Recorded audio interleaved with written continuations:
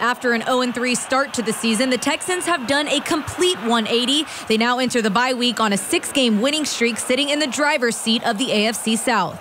Going into the second half of the season, um, I think you want to have that kind of identity. Um, you know, obviously, a team with grit, fight, um, one that could really overcome adversity. Uh, we have to do a good job over the next few days here of. Uh, you know, looking at ourselves, uh, our scheme. Some may believe that a bye week could be counterproductive when you're playing so well, but the Texans are looking forward to the opportunity to rest, get their bodies right, and prepare to continue this streak in the second half of the season.